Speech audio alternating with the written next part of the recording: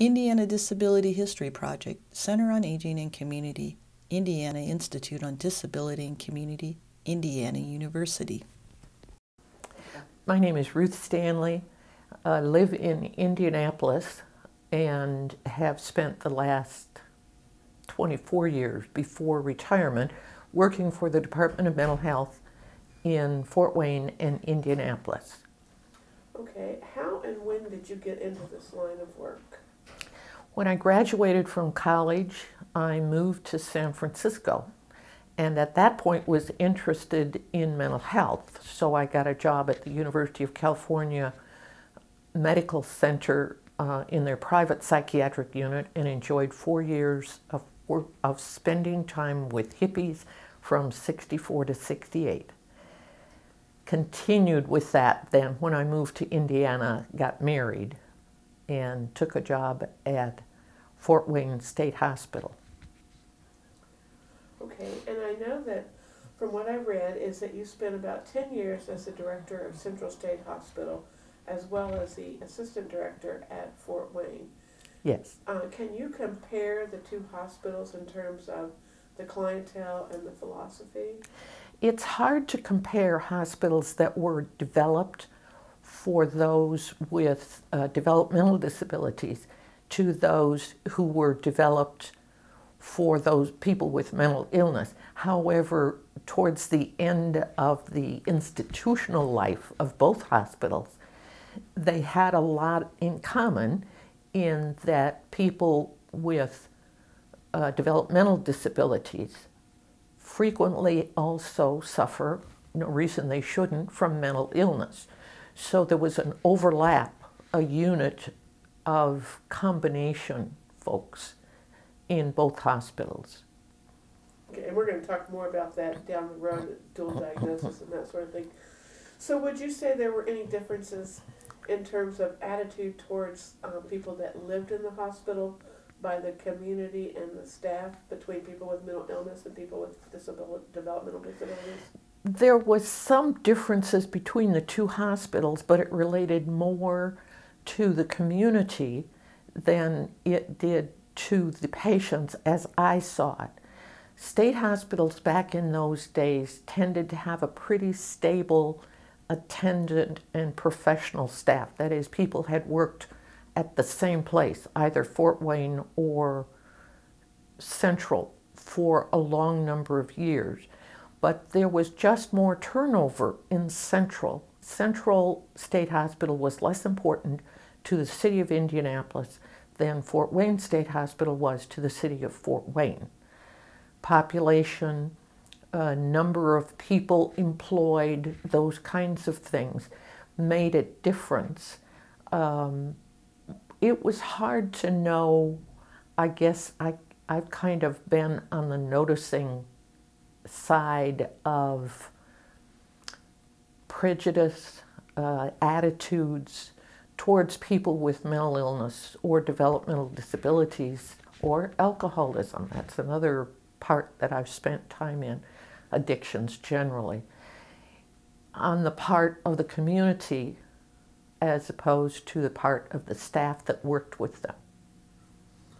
You want to talk about what you noticed? People who spent time, and usually that's the attendants, if they were very committed in the community, so this is more true of Fort Wayne than it is of Central, got to feel like a family so that uh, when Central closed, I would occasionally meet people, attendants, rehab therapy assistants, um, more true of the non-professionals than the professionals, I'd meet them in the community and they would tell them tell me that whatever job they were on, it was not as friendly. And they're not just talking about um, fellow staff persons, they're talking about the relationship with the clients that we serve, long term on both sides. Okay. So, what was it like to be an administrator at Central State? it started out to be a big challenge that I liked and within a couple of years, we were able to get it Joint Commission accredited. First time it had ever been accredited, and that's exactly the same standards that are used in all the community hospitals. So we then became more like than unalike. Towards the end, there was change. Uh, there was a lack of a commissioner of mental health for a while, so there was an acting person. There was less support, more emphasis on cutting costs, saving money. Um, and then, of course, as we got to the end, uh, they closed the hospital with the, the idea that everybody could be served in the community except for a very few people.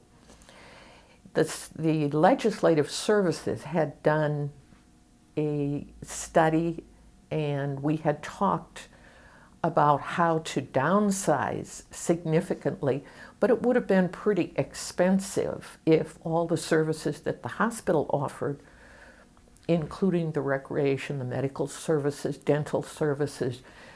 Hospitals offered a full range of services, including just plain friendship, that isn't easily translated into the community. So I still meet people downtown when I go to a parade or something significant. And they will say to me, Didn't you used to be Ruth Stanley? yes, but they will also say that they miss the congeniality that they used to have with folks that lived there. Sometimes they're in apartments where people are scared of them. Uh, attitudes have not changed significantly in the general public. They changed and they're back down again. I say down in that I believe that more people are afraid or dislike people with mental illness, developmental dis disability, or addictions than those who feel positive about that. Okay. Can we, excuse me, back up just a little bit and give me kind of a brief background of Central State in terms of, you were talking about when they got the accreditation, if you could talk about what year that was, a little bit of background in terms of who was referred to Central State as opposed to who was referred to um, Fort Wayne, what the day looked like for people there, that sort of thing. And then if you want to talk about when they closed, why they closed, and where people went. That's a lot to do, and I can ask you some more, but just some background.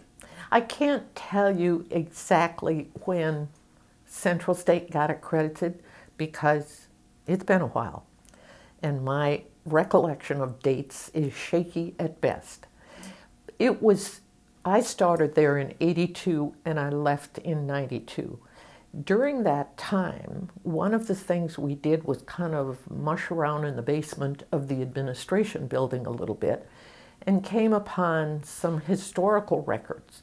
People who were referred there early on uh, and Central would have been 150 years old roughly after they closed. It was, I think, 18, 1840 something uh, that they started.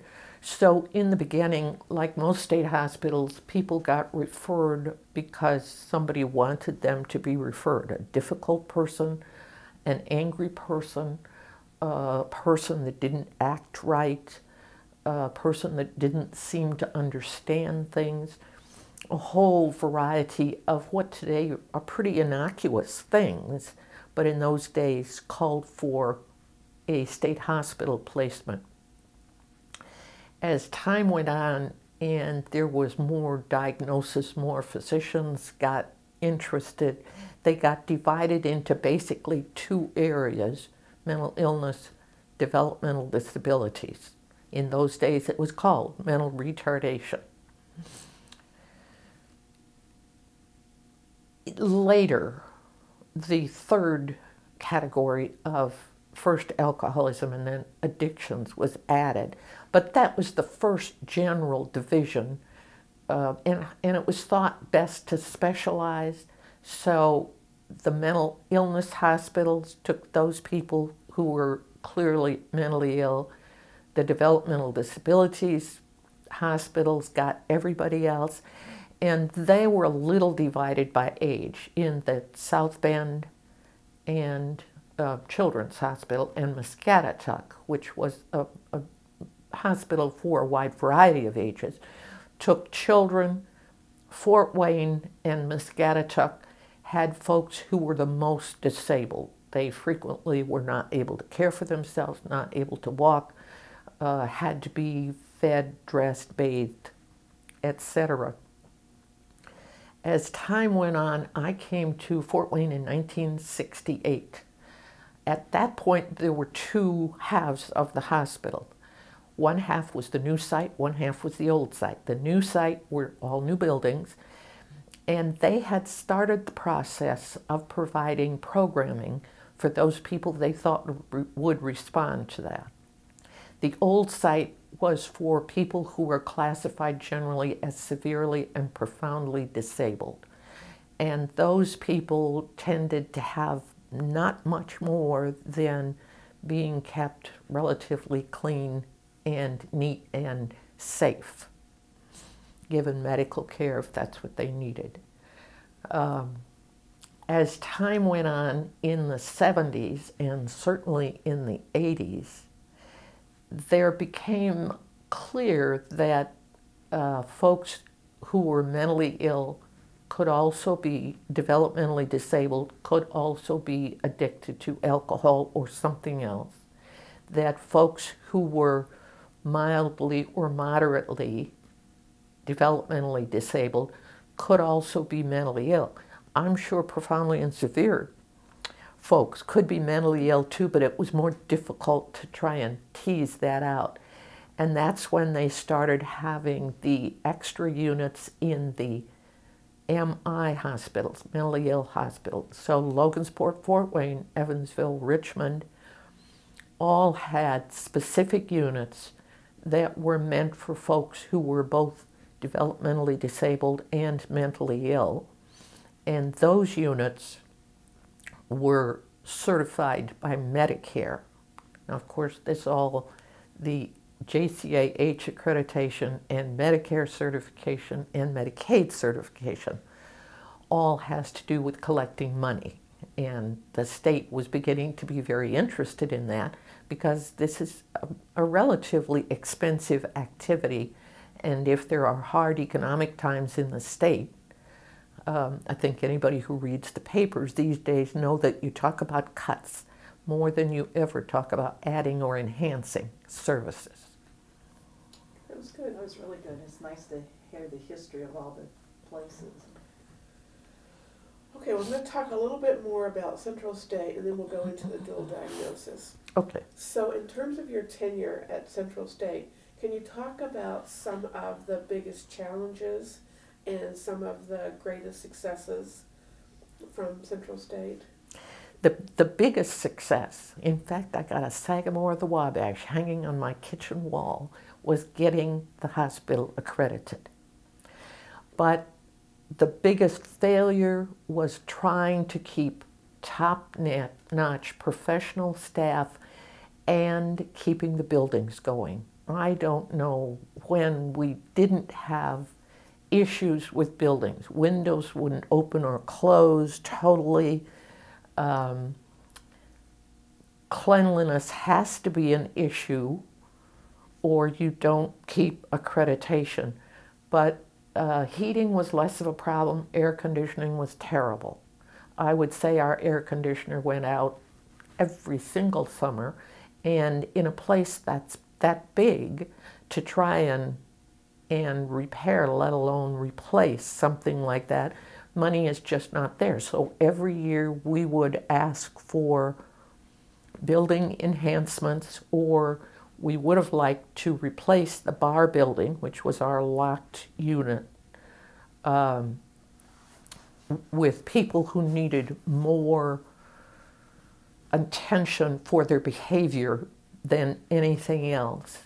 Um, and and just managing to get that done. And I would say my personal issue was I just didn't know how to be as political as I should have been. And over the years that I worked at the Department of Mental Health, the state counts that as 24, we were pretty well non political until we came to a governor who made everything political, and that was in the last years. Um, that was very difficult for me to think about doing. Uh, and we had a medical director who was kind of a laissez faire, great doctor, but unwilling to supervise other doctors. The state did a search, got a medical director who was only too glad to supervise other doctors. But these people saw themselves as totally apolitical, which most physicians would. Um, and it just got to be ungovernable. The last year that I was there, in fact, shortly before I had I left, we had a couple of deaths, and anytime you had a death, regardless of why, what happened, whatever, you know, in state government, there is always blame. It, it got to the point where I couldn't deal with it anymore after 10 years. My stress level was high enough to make me quit full-time employment. And then I did some part-time for a while. When I left, the state realized they had an opportunity, so they put temporary people there for about a year and a half. And then were able to close it with the patients they saw as most difficult to treat, to deal with, to put in the community at all, going over to LaRue Carter. And everyone else was placed in the community in some fashion. Sometimes um, halfway houses, sometimes group homes, uh, sometimes individual apartments. In all this process, sometime in the 70s, was a process called normalization. That's a big word. Well, normalization to me always seemed like um, that the only normal was middle class living. So it didn't matter what background anybody came from, whatever they got sent to in the community had to be pretty much a, a middle class um, living situation, which sometimes was difficult because people who came from a family that wasn't used to this weren't quite sure how to handle it. It partly was the problem in making friends in, you know, if you're comfortable with it and somebody talks to you about hearing voices, you can tell them straight out that their mind is playing tricks on them and that they should listen to other people, check it out, and they need to take their medicines. Um, and as far as I know, that might be the biggest problem in the community is making sure people take their medication. Well, I was going to ask you what brought down the, the close of Central State, and it sounds like it was the you know you leaving and then the deaths of a couple people, which, like you say, that's inevitable, and sometimes things happen. But uh, you know, if you want to talk a little bit more about actually what brought down the closing, and then where did you get your orders from? I mean, did you get them from the governor? Did you have a board of directors? I mean, who? I tried to get I tried to get a board of directors for Central State Hospital because it was clear to me that I was kind of in over my head politically. So we had a board for almost two years. People on it from the junior league, um, psychiatrists in town. We met uh, three or four times a year and tried to get some input that would focus, like other businesses did, on people who looked at the community as whole, the good of the community as a whole.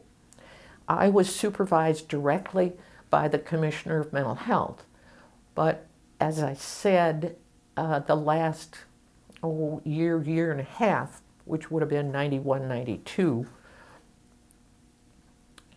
there was no official commissioner of mental health. There was an acting who was one of the other state hospital superintendents. But little support was offered. I had no contact with the governor's office. Then, after I retired in, in March of 92, I'd already announced my retirement to the commissioner. Then um, I understood a grand jury was convened. And I became a subject of that grand jury. And it was interesting to me that all the assistant deputy attorneys general who had represented Central through the years called me up to tell me what that meant and how to deal with it and etc. And then at that point, the governor's office, because I could not be represented by the attorney general's office, the governor's office paid for an attorney for me. And in fact, they gave me some choice.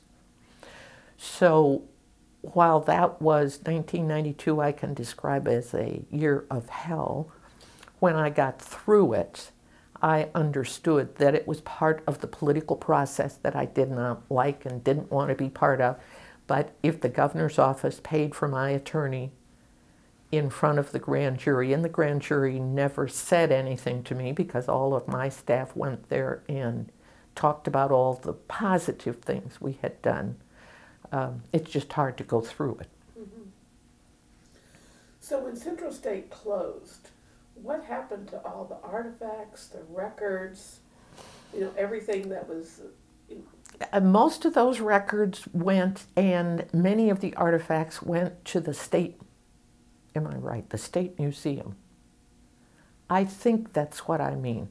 Indiana State Museum they already had a number of things that we had given to them over the years. So, like those cards that talked about the first people that were admitted to Central, they got those things. Some of them probably went to the Indiana uh, Pathology Museum, which is still on the grounds and still open occasionally, as I understand, uh, which more tells the history of beginning medical training in mental illness, uh, but it has a fair number of exhibits too. So between those two places, when the new buildings were built, sometime before I came, I'm, I'm guessing the 60s, um, Evans and Bolton most of the old artifacts of the big old buildings and the cottages as they were torn down disappeared, I understand. that there were a lot of people in state government that kind of got things. Uh, there was an artist um, who had who had painted a lot of pictures, and some of those disappeared, but there are still some left I think in the History Museum, and maybe be other places in the, in official uh, areas too. Okay, it's good to know. So, all the little brains that were. All the little brains are still sitting in their little original jars in the Pathology Museum at the back of Central. You go in the gate on Vermont, and I don't know if they have official opening hours every week, but boy, if you want to see something interesting, go there. It's, it's a wonderful place.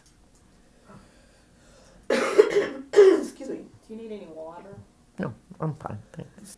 So, do you have any personal stories or any anyone you remember that was a resident of Central State or anything like that you'd like to talk about? Is there anyone you kind of followed through the years or kind of knew and knew what happened to after they left? No, I see people every once in a while, but um, stories. It was easier to do that at Fort Wayne, where I had more specific time with a smaller population. At Central, while the superintendent gets involved. So I was on all of the units here and there and whatever. It's, uh, and it's long enough. it's been 20 years since I retired, and so while I can remember very interesting stories of the Haight Ashbury in the late 60s, that was a time that kind of stuck with me more, and it was all brand new and etc. So I don't know that I have any That's fine. particular stories. I recognize people. Mm-hmm.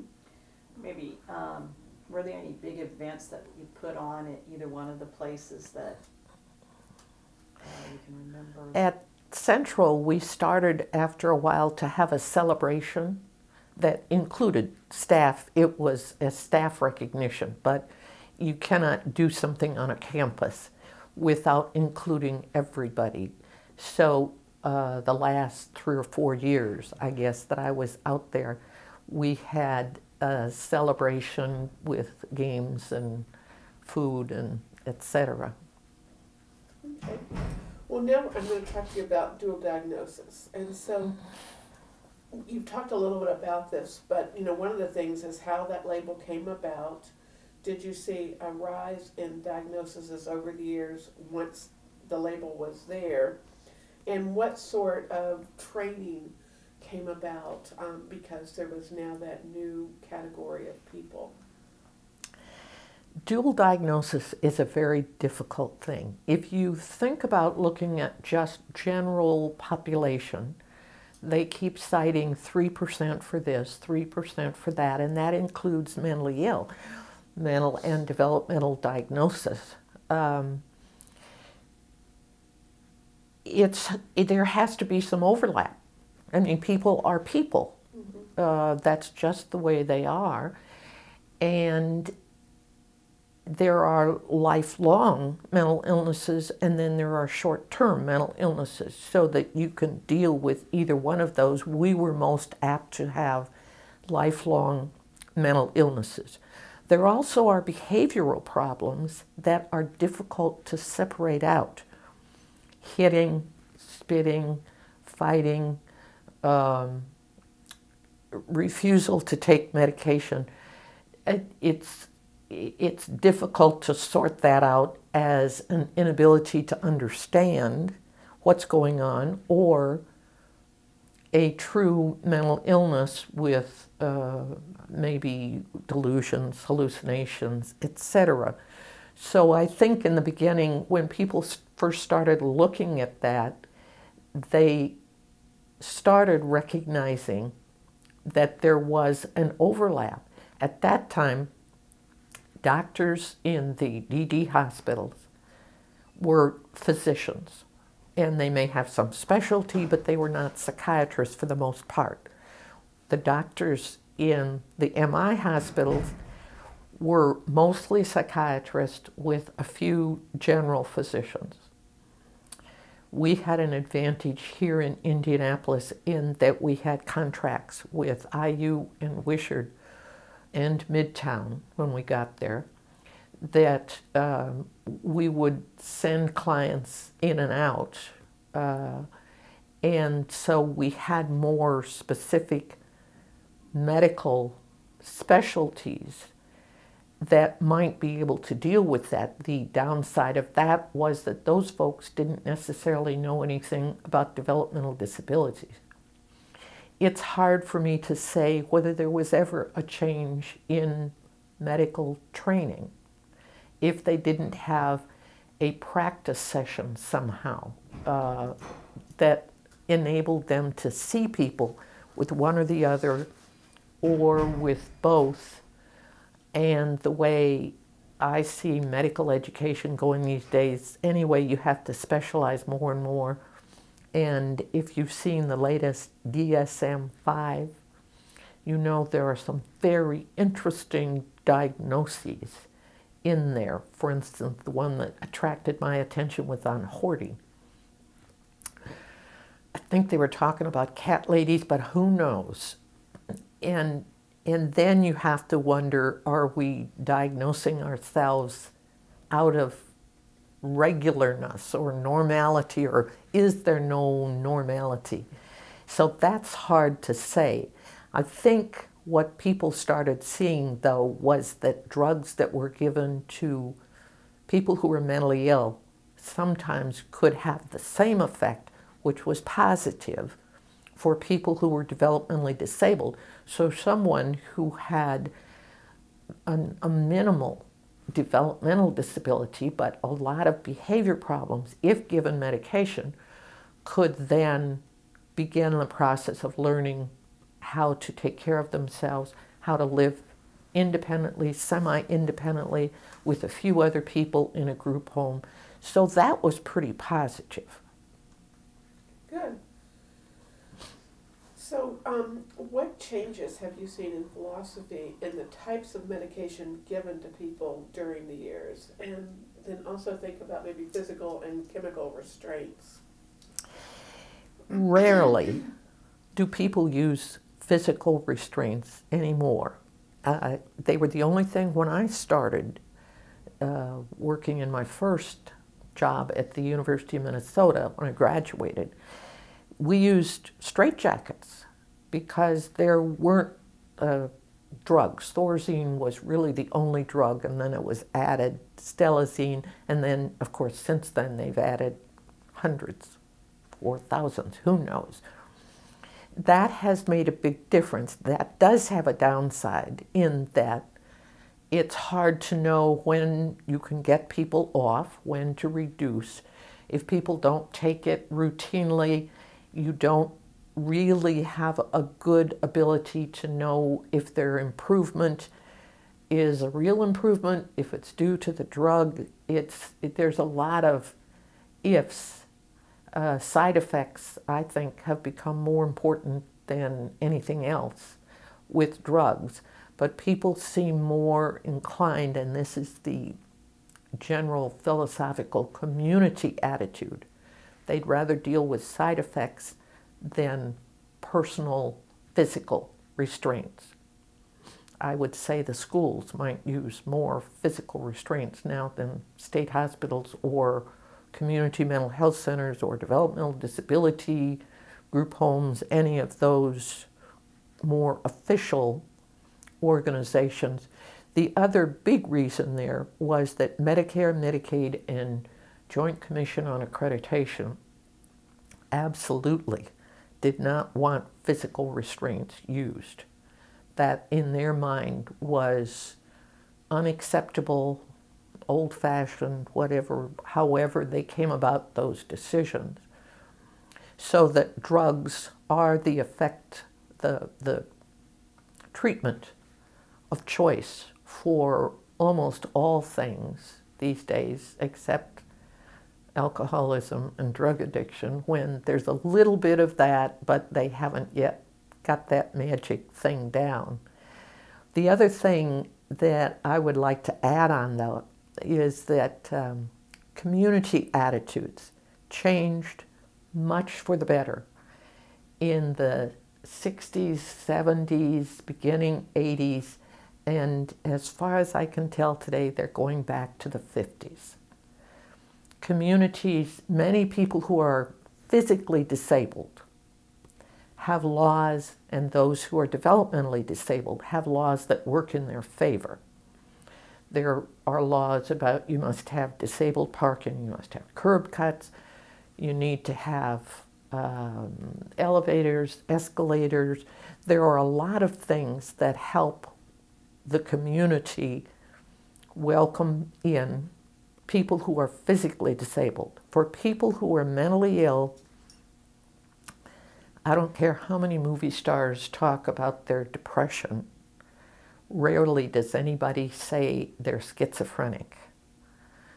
Um, and there's that one physician in, she was in Virginia now, I think she lives in Montana, a veterinarian maybe, who does all kinds of speeches, and she is autistic and has worked through that. She just worked hard enough that she got to what everybody else sees as regular but the attitudes, if you're cutting dollars, if there's something you can let go of, I think that was true of the community mental health centers. They started out serving lots and lots of folks. And as they've been cut and have had to look at the bottom line rather than treatment as their most important organizational goal, that shortcuts get made, and I haven't seen that people's attitudes make that up. So, would you say, because one of the things that our work has talked a lot about in terms of what you were talking about for people that have physical disabilities, curb cuts, escalators, we we talk about as a community for all because other people benefit Sure. from from it other than just people with disabilities. Well, my husband's on a cane right now, and we're So- parked in that blue space out front, out back. But it sounds like attitudes, if I'm hearing you correctly, attitudes towards people with mental illness is still the same as it was in the 50s, where attitudes towards acceptance of people with physical disabilities, um, mental or developmental disabilities, and um, things of that nature have improved somewhat. But in terms of just hardcore mental illness, schizophrenia, hallucinations, that sort of thing, you don't feel that that's magical thinking, any of that. And I think all you have to do is look at the newspaper and TV these days. For those of us who spent our lives in working in mental health, whatever that, we say to ourselves when we see people as we travel, move around, there's one of ours. And if you look at the man who shot up the movie theater, as you look at the man who shot all those kids, they're one of ours. You can tell by looking at them, they're different, they're strange, they're odd. No one feels any compulsion to try and figure out how you intercept that in any fashion. I think it used to be intercepted decades ago, half a century ago, by teachers or doctors or neighbors or whatever who befriended somebody and and tried to pull them out of whatever it was they were working at inside themselves. That isn't true at all today. Teachers don't have the time, and there's not many other people that are interested. If this was, and this is not necessarily for this, if, if this was nineteen fifty, the people you were just talking about, the fellow who shot up the movie theater, the, the school uh, yard massacre, would those kids, do you think, have been recognized in school and sent to an institution at an early age? It's possible. The other thing is that they would have not, they would have had more people paying attention to them. So somebody might have taken official action, whatever that occurred, or uh, they also just didn't have access to the weapons that they have today. We didn't have submachine guns or whatever they're called. We didn't have the 30 rounds of ammunition that you just chunk in and let it go. So, two things less interest because the communities aren't as community oriented. You know, about knowing your neighbors. Um, people just don't stay. I'm the neighborhood nosy lady. It's all that training in mental health. So if I see people, I go outside and I talk to them. If we have new people that live next door, I find out what their names and try to remember them. It's it's just not as friendly even in the rural areas, although the rural areas can be better than the urban areas just because there's fewer, you'll spend more time together. I grew up in a town of a thousand, and there probably isn't much of anything that anybody that I didn't know something of would see them at school or church or whatever. That's really good. Um, all right. So, okay, I've got just some, a few more basic questions. In looking, well, okay, in looking at your tenure, in terms of the field of disability and human services, what are some of the most noteworthy changes for um, people with disabilities, whether it's mental health issues or whether it's intellectual or developmental disabilities? To me, the real issue back in the 70s and particularly the 80s and 90s was that the advocates got together, got together and made something happen. That's where the laws came from, is people at the grassroots level pushing government in first the community, then the state, then the federal government, so laws were passed. That has never happened with people who are mentally ill. That's a positive in that once something is made law, you know, people don't always follow it. How many young people have you seen jump out of their SUV in the uh, handicap parking space, run in, or just park sideways while they run in and get a cup of coffee over two spaces? So you, but that's not something you can mandate. What hasn't happened is that that has kept up. Um, and I guess that's one of the attitudes that, that has puzzled me over the past 10, 12, 14 years is that the uh, mental health associations and the advocacy associations in general are not as active as they used to be. And one of the one of the issues I think there is that we have separated people. We've made them individuals, which is a very nice thing. So most families uh, these days, instead of placing their child or adult in an institution or a nursing home or something, that may have to happen when they die, but not at an early age. But that has fragmented then uh, organizations because people are more focused on and interested in their own circumstances. And because all of these people with developmental disabilities and mental illness and addictions have different issues and problems, they're, they're individuals like the rest of us. It's, it's difficult as long as they were working as a group for everybody. It was a very powerful lobby. And I think it's lost some of that power. They still provide educational services, but those are mostly to parents, um, family members, maybe professionals if they can get hold of them. Um, but that fragmenting, while it's a good thing maybe for the, the individual, him or herself, it's not positive for accomplishing much more as a, a total um, community and or nation. Right. So, in looking forward, what do you hope for in terms of supports and services to promote meaningful lives for people with disabilities across the spectrum?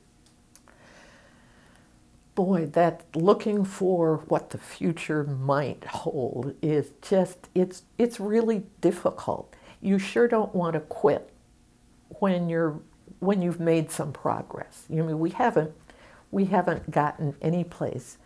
And I guess I really don't know. Sometimes I think there's a lot of progress yet to be made, and then other times I think until we have a better understanding of the brain,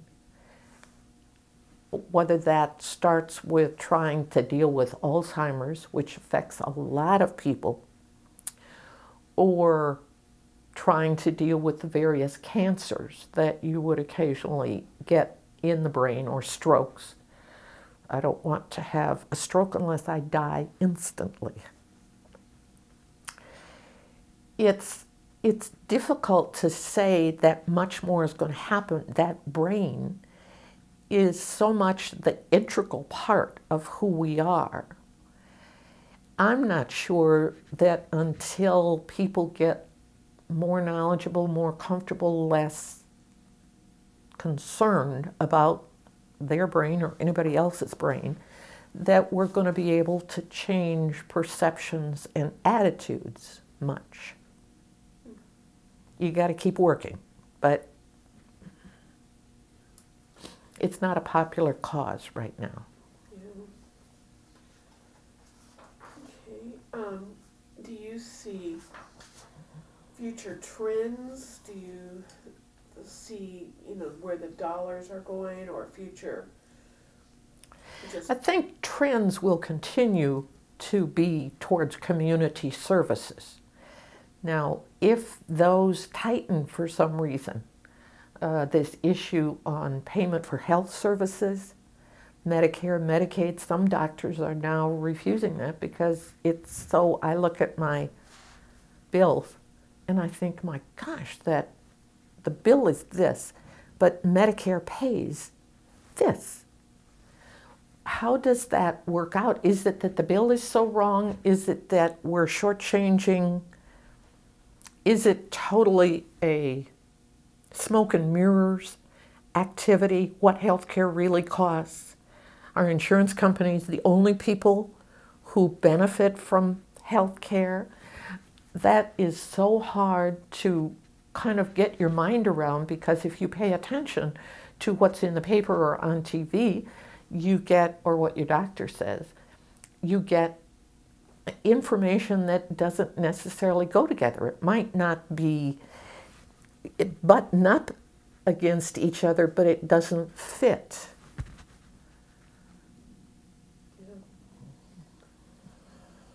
Well, and, and some of this you've already talked about, but I was going to ask you if there were any career highlights or anything that you wanted to elaborate on anything that you remember from your tenure at work?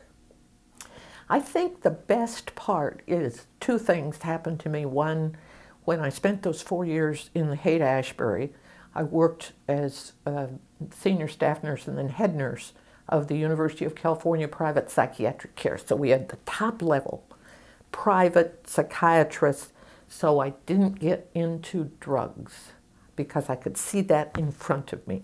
But otherwise, I got into everything that everybody else got to except the free sex. My sister and I were talking about that the other day. But that was such an enlarging process to my brain, to my person, that the rest of my career I don't know how many times I've said to people, and we have close friends that we probably spend a couple times a week with, coming from mental health too, that, and my husband worked in mental health. He did addictions, but he also worked for the Department of Mental Health. How lucky I was to work in the field of mental health, and I'm including developmental disabilities and addictions that is the most wonderful field because all you do is work with people. People are people, regardless of what their titles are. And if that's what your job is, you're just lucky. That was really nice. really nice. I was wondering if you want to talk a little bit about your award. Nah. Okay. Thank you. Anyway. Yeah, because we could talk about how you got it and who recommended you. No, no, no. Okay. It sounds like you had a, a wonderful career. I sounds like You did. had a lot of adventures. and Yeah, the last year at Central was That's always horrible. god awful, but then I worked part time with um, my husband and I've gotten very interested in penny slot machines. And my little sister thought we were addicted, but I, I worked for about a year and a half part time for the Custer Center, which rented beds in Methodist Hospital. Mm-hmm. And they were an inpatient addictions program. It didn't last long because there isn't money. People aren't willing to pay for that. But I studied those people and decided no, we weren't addicted. We're fine. I worked at a day service agency um, in Martinsville in the 70s and 80s. Mhm. And it was when it was Department of Mental Health. And the person that I knew, Larry Miller, Oh, I know Larry Miller. he Sure. was the director of Department of Mental Health. And so, you know, if you needed to know something about that, you could call Larry Miller. Uh, and, and then, you know, like People knew everybody's names. Right. You, you Yeah. knew who to talk to about what. Um, but yeah, it was quite different. And I hadn't thought about the DSM. Now it's five since the I, 80s. I read those diagnoses and I'm saying we're going to diagnose every child with some disease, and then we're going to feel like we have to provide treatment. In the old days, you told them not to do that, you gave them something else to do. Well, yes, I, when I was, when you were saying that, I was thinking, well, the last one I looked at was three. and I remember getting all these reports because I was a social worker, and that's one thing I need to ask you too. But you would look at what their label was based on that manual, so you had this idea of what. That's how you get that's how you get paid for it. right. But that isn't necessarily the way that you have to deal with, particularly kids. You better be dealing with their behavior. So, do you want to tell us what your background was? Because I know you said you were a nurse. And, so, can you tell me um, what your education was? Yes, I went directly to the University of Minnesota to a baccalaureate degree in nursing because every member of my family for three generations went to Macalester College in St. Paul, and I said, I'm not doing that. Then in 72, when I was working at Fort Wayne, I was asked to be the uh, nursing consultant for the Department of Mental Health. That's that period between Fort Wayne State Hospital and Central when I visited every state agency, developmental disability addictions, mental illness. So for that, I got a master's degree in education. At that point, there weren't a lot of opportunities for master's degree in nursing, and they were pretty long.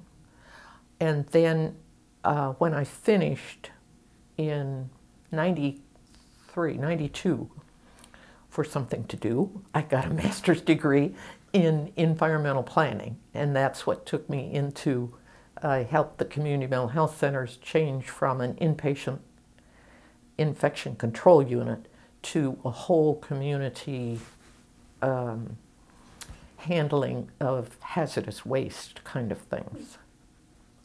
That's a nice scope of education. Let me look here. I Can you think Don't have time to get a degree from every Big Ten university. Um, And the people from Central State, you kind of answered they said they were all over the place. Do we wanna talk about maybe what a typical day looked like at Fort Wayne? I mean, did we really, did we talk about that? That's hard to do, both because of the amount of time. You know, I would just have little bits and pieces here and there, and I kind of said about it in that in the beginning, these people got into some kinds of activities, and the people who were lower functioning did nothing except kind of mill around, and that was it. It typical days it's like every day is a typical day when you're dealing with people.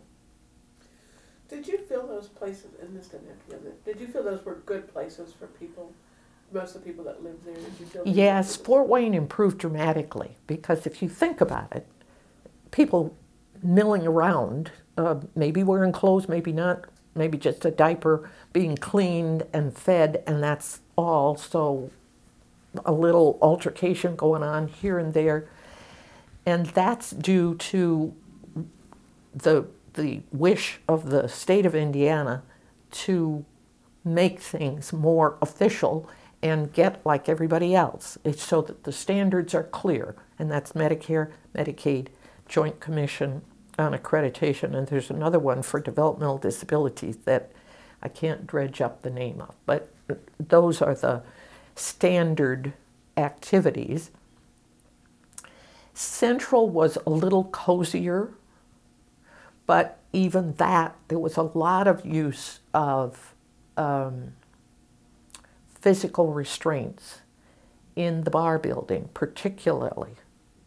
Uh, that was the locked unit. Every room was locked. They were all individual rooms, and every room was locked because people were combative.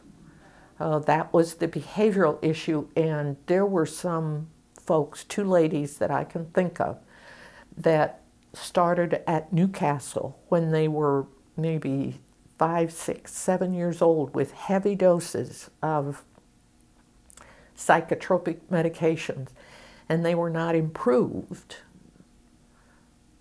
when they were in Central 20, 30 years later. And, and that's part of what has to present itself before there can be an improvement.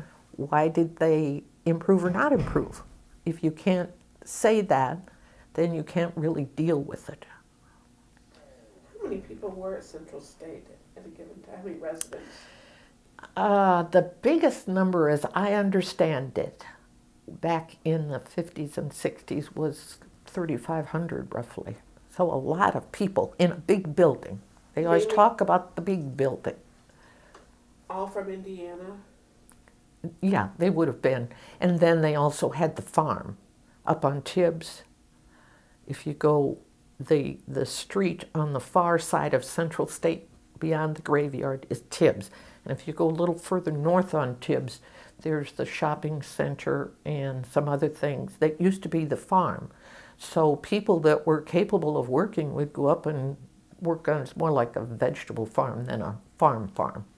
Was it similar to Muscatatuck in that people had chores and, you know, they were somewhat self-sufficient where they had animals and they grew? In the early days, in very, very much before my time, yeah. Okay. And I lost what I was going to ask you.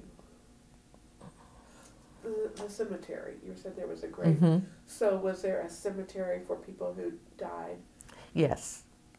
And usually there were people who were not claimed, unknown, folks who never had anybody visit them, who they didn't know, staff didn't know that there was any family available. There might have been, but in those days, you really tended to put somebody away and forget them. It was, that- it was a shame. in your tenure, was that still happening? Were there people that would just be There kind of abandoned? Except that between staff, uh, local volunteers, we had a volunteer director, and Barry would go out there and get volunteers for this, that, and the other thing. The local um, mental health association always came out and did big parties at Christmas time in every ward, so that there was it was more individual than just a whole hospital. There was a lot of, there were still people that were never visited by anybody, but if you think about people in the hospital these days, if the family's not very close, or if they've been on their own for some time, or if they're drifting from here to there, that's not unusual. But they did not die alone, and I have no idea when the last grave was put in that area. I can remember that there's one of every kind of tree in Indiana on the grounds. They, they were planted by the Boy Scouts. I heard, was it this week where, is it one of the hospitals is having a new program for people who don't have family, kind of a hospice? Yeah, visitor kind of thing. Yeah, So that they don't die alone. right. And New Castle Hospital, was that a place that primarily people with epilepsy? It started out that way, but in the end, uh, that is when I started working for the state, it was simply another developmental disability agency. It was small, so like South Bend, it closed fairly quickly. And is LaRue Carter still? LaRue Carter is still functioning out on the grounds that used to be the VA hospital years and years ago. And it's still a psychiatric hospital? It's still a psychiatric hospital. It had to change a little bit in that it used to be very closely affiliated with IU, so all the research that was done at IU uh, Department of Psychiatry was done at LaRue Carter. However, there were maybe a couple dozen, I'm not sure exactly how many people went there from Central when Central closed because they could not be housed anyplace else. They have older children, adolescents. I, I'm not sure how young their child population is. I suspect not real young. And adolescents and then adults. Um, the other state hospitals are still open are Logansport, Evansville, and Madison, but very much diminished in numbers. Richmond, I think they closed their addictions unit or they closed their DD unit. And Silvercrest is closed? Silvercrest. That was a children's hospital in southern Indiana? South, yes, that was Board of Health. Sometimes there was a little overlap between Board of Health institutions and mental health institutions. So that was the Board of Health, but yes, that's closed. The large, um, I'm trying to think, I want to say bed and breakfast, that's not quite right. Um, institution at Rockville, it was not labeled an institution, but that's what it was. They provided a living space, meals, medicine. It was a place where people would be supervised enough to make sure they had medicine, they had um, some level of recreation, um, and they had some level of medical care, but it was uh, less professionally staffed than um, the, the hospitals were, which had everybody that was needed uh, occupational therapy, lots of social workers, psychologists, etc. It's kind of interesting. Years ago, we interviewed um, people leaving Muscatatuck. Uh huh. And in looking at, like you were saying, to the people that were placed in institutions 30, 40 years ago, and, and you look at the people now, you know, all the people that, all the meth labs and all the crack moms and, you know, people that are just constantly in trouble would all be people that would be, would have been Quite- in institutions years Quite ago. possible. Um, and then all the homelessness, those are people that also might have just been picked up as vagrants and. If there really were mental health services in the community easily obtained and easily found, I think all of those things would have been okay. And when we talked with, um, I've forgotten who I talked with at the Legislative Services Agency, but before I left Central, and we planned, and my guess at that point was that probably 80% of the people in Central, if those services were readily available, could live in the community quite decently. Everybody'd be happy. But the services aren't as readily available. You know, like you can find a service, but if the if the person who was the patient doesn't take their medications, maybe that service isn't good enough now and needs to be more, or that service moves on, or the client moves on to someplace different.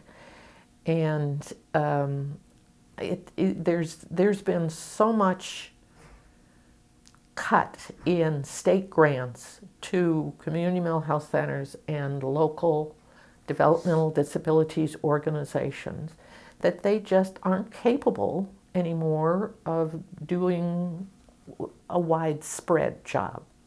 Well, and I think it's probably hard for people with those issues to go get the services. Let me give you a little off story. I work for the Red Cross as a disaster mental health specialist. So when we had the floods in 08, I spent three weeks shelters in Martinsville and uh, Greenwood, and then a service center in Franklin. And while I was at the service center in Franklin, we heard about a trailer park that had been flooded with a lot of damage, but the managers, owners, I'm not quite sure what, wouldn't let anybody on there. So they hadn't yet been surveyed by the Red Cross damage assessment so that people, and nobody had come in to the service center from there. Supposedly his managers didn't let people on ground. Well, okay, a direct challenge there. So I gathered one of the state uh, police chaplains, and the two of us went. You always got to go two. Two of us went over there, and I just whipped into the office and said, Oh, we've been so worried about these people. My name was Ruth Stanley, and I was a disaster mental health volunteer for the Red Cross, and I had just come to make sure that they were doing okay. So we went down and we talked, and these people were ultra suspicious of government, and it's surprising to me how many people think Red Cross is government when they're not. But they all said that there was a person, mm, I can't tell you what his name was, that was dangerous. He went off. That's a professional term you've heard before, going off. So I said, okay, well, let's go down there. So one of the women went with me because they thought he would react better to women. And what I did was just, he, he was standing outside his trailer. I just went up the front porch, so I'm standing well below him, and put out my hand and said, my name is Ruth Stanley, etc. I said, did you manage to get your medications when you had to abandon your trailer?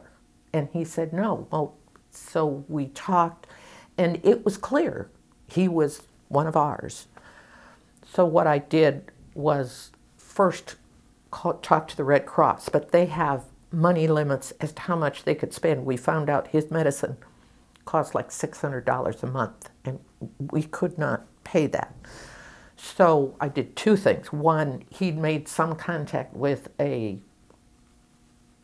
basic church, one of the um, I'm not sure, evangelical kind of churches, Christian churches.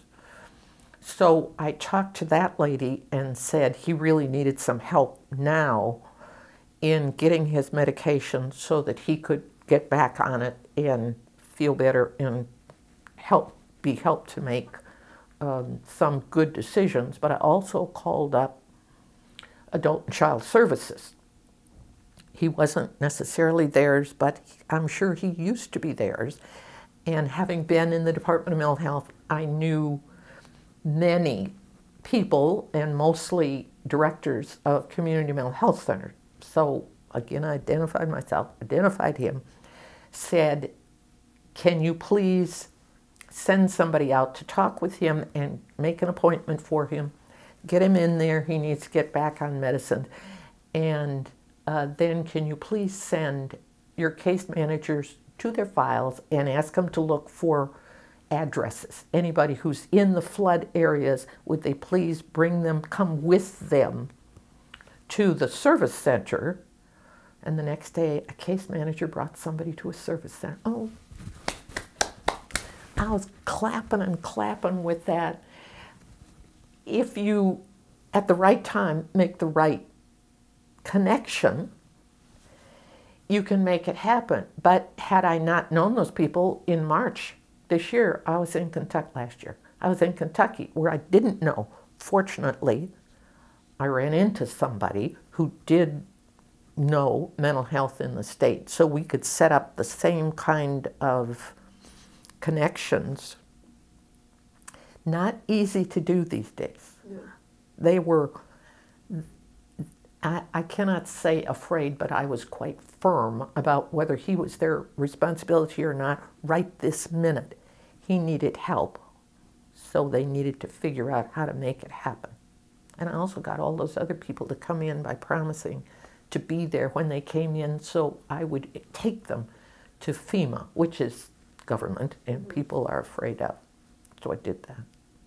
That was a great story Yeah, it's it's really rough. And um, you have do you have to be somewhere at eleven thirty? Oh, you... roughly, yeah. Okay, so you have about Athenaeum, yeah. So it's not far. Okay. I'm I'm really enjoying this. By the way, well, I was going to say I could talk to you all day. You have so many interesting, interesting to interesting. to try and think about these. I think about these things, and I talk with my husband and my friend Francis as we see what goes on around us it's just so interesting to watch things change. And like you say, I mean, the services are cut, and people, it, it's so challenging to find where to go, and then to have to talk to so many people to actually get what you need. And if you're complicated, they don't want to. it's real hard. Exactly. Right. Because you'll cost too much in time. Well, just in the VR work that I used to do, I mean, I can remember taking people to see a VR counselor, and they would know within five minutes that that person wasn't going to be a successful closure in a short amount of time, and would find every excuse in the world to not even take an application. thinking, okay, isn't this your job? And so, yeah, and it's it's much worse now because there's less people and less dollars and and a lot more turnover because of the environment so that people don't spend their lifetime working for one organization and people don't spend their lifetime When the Community Mental Health Center started, everybody had a catchment area, and if you lived in that geographic area, that's where you went. Now, they have the choice. The state rules are that every time they have an episode where they need services, they can choose a new place. Well, that completely negates history, and history is very important. No, and continuity and stability and Having to start over every time. Exactly. I'm always glad when I meet somebody downtown who says, Did you used to be Ruth Stanley? Tickles me. And I always admit yeah, I used to to it. be, but now I'm I know exactly what they mean. right. Uh, yeah, that's fun. And it's it's very different, and we we talk about that at work also because I've been in this field for almost forty years, and I've had two jobs, and most people, most young people now have Have had new 10 job jobs. every you know two three years. There's no loyalty, and part of it is, like you were saying, you know, the environment, the the, the, the turnover. Uh, it's just more complicated. There's no money. The pressure is on the work you do rather than on the client's progress, needs, etc. If what you do happens to meet it, everybody's happy. But if it doesn't, well, it's too bad we can't do everything for everybody. Produced by Center on Aging and Community, Indiana Institute on Disability and Community, Indiana University. Funded in part by a grant from the Indiana Governor's Council for People with Disabilities. Copyright 2017, the Trustees of Indiana University.